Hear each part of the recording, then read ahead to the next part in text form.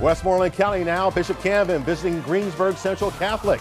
Let's start this game with a defensive highlight. Canevin connects, but the Centurions defensive back Aiden Allen Allison lays the big hit on the receiver.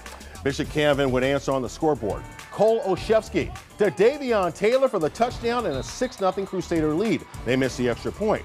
Crusaders added their lead in the second quarter. Olszewski to Azon Marshall this time. It's a touchdown. They convert the two-point try, and Bishop Canevin up by 14. Still in the second, after a short punt, deja vu all over again. Olszewski to Marshall, touchdown. Bishop Canevin 20 to nothing at this point. But in the second half, here come the, the Centurions. Samir Crosby rolls and floats one to Landon Honick. Great grab right there. That sets up a Crosby keeper and a Centurion touchdown, but that was their only score. Bishop Canevin wins on the road 26 to 6.